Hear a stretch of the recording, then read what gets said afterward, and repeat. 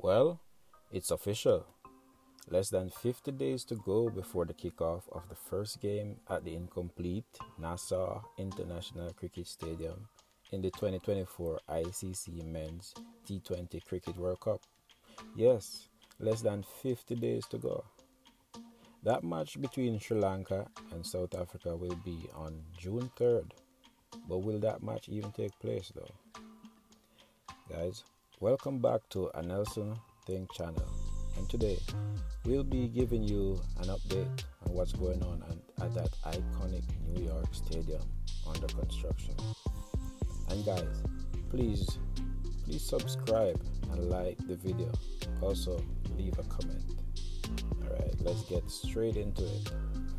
The Nassau International Cricket Stadium is a modular type stadium being constructed in East, Meadow, New York, and will be hosting eight matches in the ICC T20 World Cup.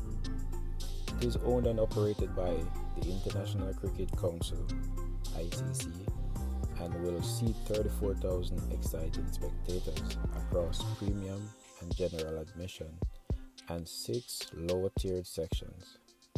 The facility will also have VIP and hospitality suites, a party deck, and cabanas.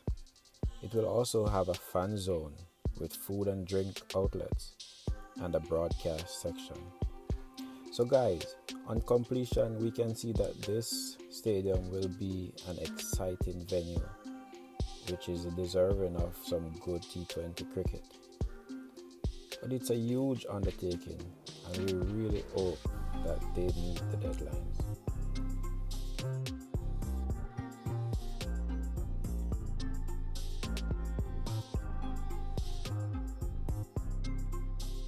We can see since our last video on the construction, there has been a huge advance made and, and the place is taking shape really nicely. Seats are going in and we can see great progress made on what I think is the area for broadcast and the VIP sections and where the cabanas and stuff will be. Um, in terms of the grounds, it looks like they they add a layer of sand for drainage, and the wicket area is measured out and being prepared. Guys, some info on the wicket area. The wicket, which is a drop-in square similar to those in Australia's Adelaide Oval and the New Zealand Eden Park cricket grounds, is being created in Florida and will be delivered to New York in May. It's now spring in New York, so I believe when they lay the turf, it will grow up real nicely in a couple weeks. I'm by no means a stadium construction or a sports field landscaping expert, but we would have hoped that the stadium and the grounds would have been much more closer to completion.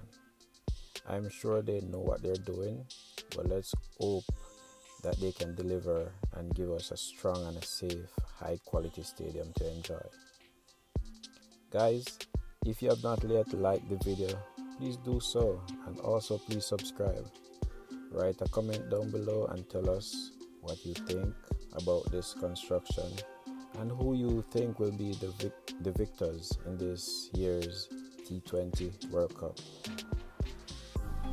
We will definitely be keeping you posted and doing more videos on this construction until it has come to completion. So, guys, until then, keep safe and live good. See you next time.